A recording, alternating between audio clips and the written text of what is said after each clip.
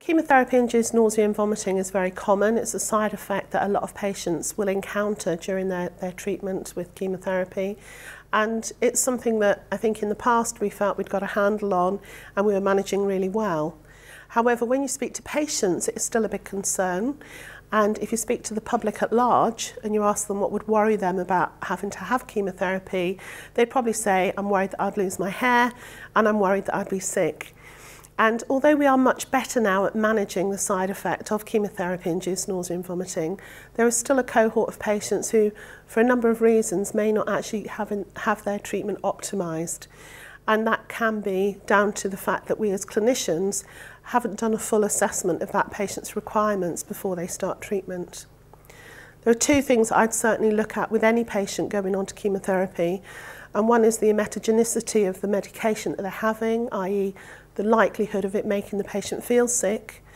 And the other are the patient factors.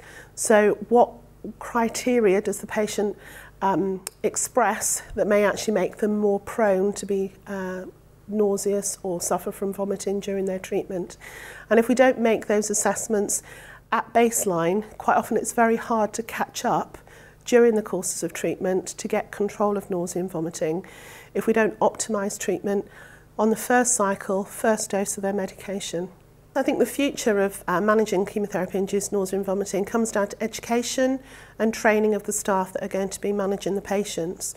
So recognising the patient factors and knowing who's more likely to be uh, prone to, to have these side effects during their treatment and also the metagenicity of the medications, putting those risk factors together and then calculating the likelihood of nausea and vomiting to maximise and optimise the medication combinations that are offered to the patients before they start the first cycle. So education, education, education.